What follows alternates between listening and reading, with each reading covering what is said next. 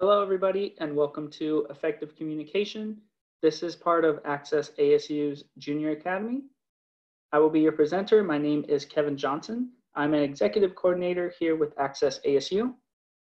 Access ASU is a department within the university that is dedicated to increasing access to higher education and preparing Arizona students for success through family engagement, strategic K 12 education, and community partnerships. Right now, I ask that you grab a piece of paper and pencil and a phone for a timer as we have some activities planned for you today. So today, what we'll talk about are personal statements, professional email addresses, and FAFSA, which stands for Free Application for Federal Student Aid, Next Steps, and what you can do now as a junior. So for our first activity, it will be called Who Will You Save? So imagine that you are on a cruise ship that is sinking and you only have one lifeboat that can fit eight people. The couples count as one person. I know the presentation says in teams, but by yourself, identify who will get a spot on the boat and why, and give yourself about five minutes to think about it, read the descriptions, and then we'll talk about it after. Feel free to pause the video right now.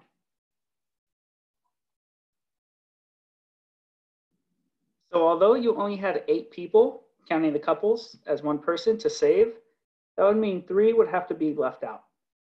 And you made your decisions, although they may have been tough, but you made your decisions based on what you felt was more important, right? So as you can read, just I'll read a couple to you. Number one, a doctor addicted to drugs and is very nervous, age 60.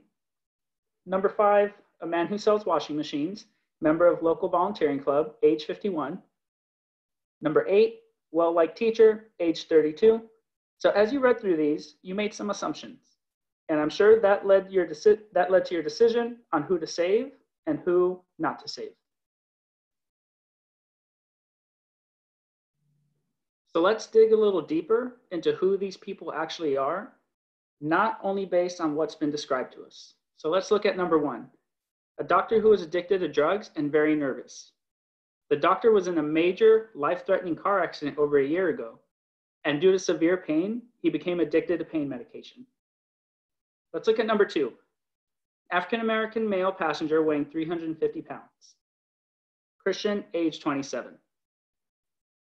This is actually the starting defensive lineman for the Arizona Cardinals and gives back to the community. Let's look at number three.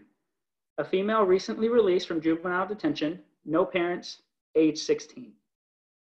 This young lady lost both her parents within a month of one another due to cancer and a uh, subsequent suicide. She is the oldest of three children and was incarcerated after stealing food to feed her younger brother and her sister.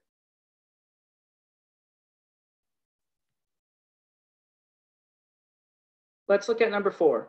A Caucasian male charged with murder, one who can navigate the boat. Age 37, this man was charged with murder after helping his wife suffering from stage four bone cancer end her life. Number five, a man who sells washing machines, member of a local volunteering club. This man went to ASU to become a lawyer, but because of pressure from his father and grandfather while in college, he joined the family business selling washing machines to carry on the family legacy. Number six, a boy who has been paralyzed since birth, age 11. Despite being confined to a wheelchair, this young man started his own charitable organization for which he is a spokesperson and has raised over $3.5 million. Number seven, a Korean married couple, ages 56 and 60.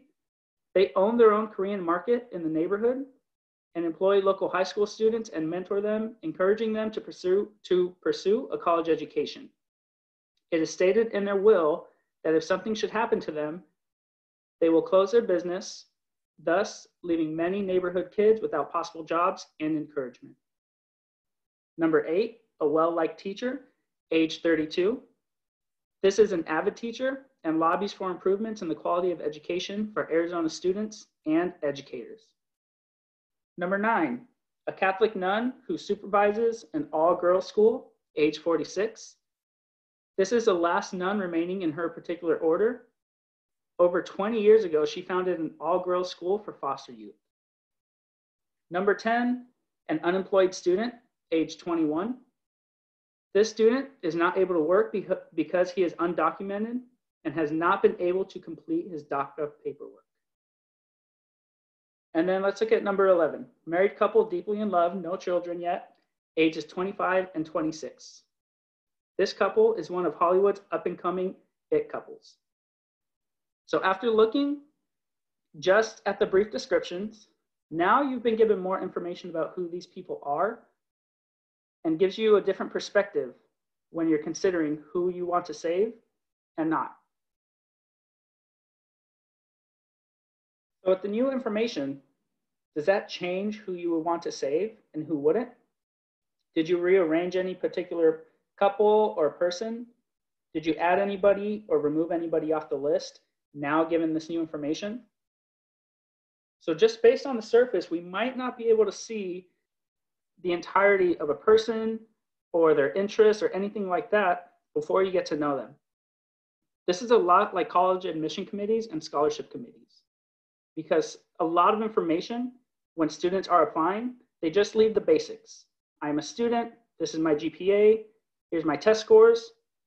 But a lot of these major decisions are based off of limited information and judgments can sometimes be incorrect.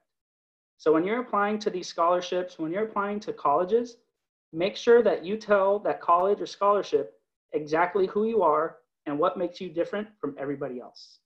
This could be a make or break decision when schools or scholarships are looking at who will be the winner of the scholarship or who will be admitted to the university. So going deeper into looking at a personal statement and what a personal statement is and is not, you can see how a, pers a personal statement is a picture to provide a snapshot of who you are as a person and not an academic paper that you will distance the reader from you. You will see that a personal statement is an invitation to help the reader get to know you and not a journal entry that is not in a professional voice and make sure that a personal statement is a story to show the reader your challenges or aspirations and not a plea or justification that defends why you are the best candidate. Just like the previous example, when creating personal statement, provide a picture of who you are as a person, what makes you unique, what qualities do you have, what are your goals in academia and your career, and how you you became the person you are today and how that will shape your future. So let's look at our next activity, 20 in lesson 20. So here you can give yourself 45 seconds to write down five ideas for the following topics. Write down the first five ideas that come to mind and try to think outside of the box.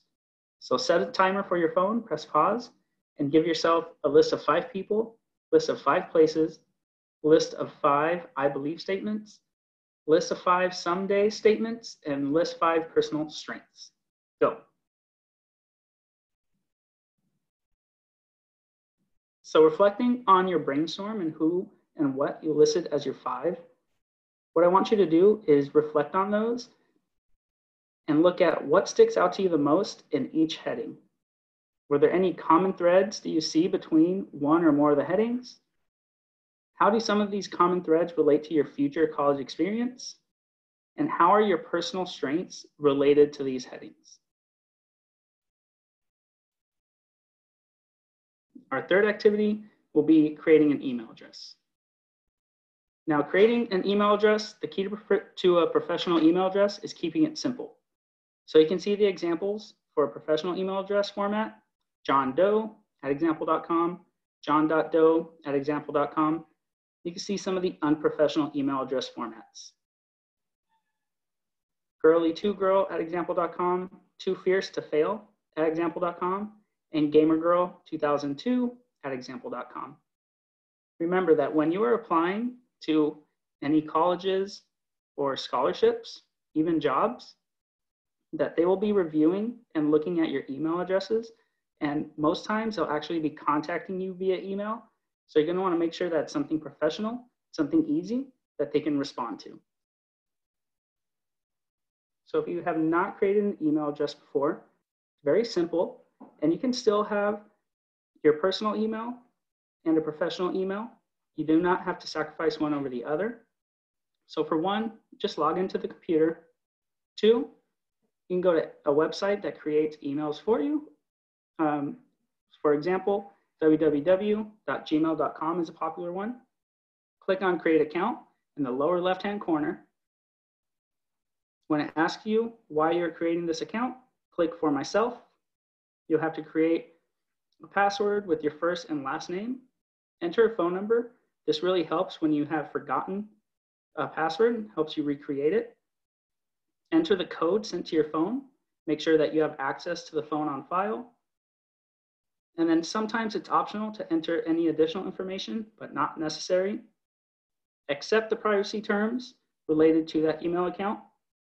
And congratulations, you have your own professional email that you can apply to colleges, scholarships, jobs, so on and so forth. It is important not to forget the password for this or even the username. So if you have to write it down somewhere safe, make sure that you write it down somewhere you can also remember where you're gonna get it and make sure that you check this regularly. So for next steps, our last topic today will be the FAFSA next steps. Creating an FSA ID in order to prepare for the FAFSA. The FAFSA will open up October 1st of your senior year of high school, but as a junior, you can create your FSA ID. For your FSA ID, you'll need two things, your social security number and your full legal name. So if you do not already know the information, please find it out, write it down. Make sure that you enter this information incorrectly. Please enter your full legal name as it is posted on your social security card, which will also have your social security number. This will be your login for the FAFSA when you start it senior year, but you can create it today and make sure that this FSA ID, just like your email, password, and username, is kept somewhere safe where you can always access it because it is something that you will continue to use in the future when you continue to fill out your FAFSA. So that concludes our presentation today. Please feel free to contact Access ASU with any questions or if you'd like to learn more information. And please connect with us on social media if you haven't yet. Have a great day and remember some of the lessons taught today. Thank you. Goodbye.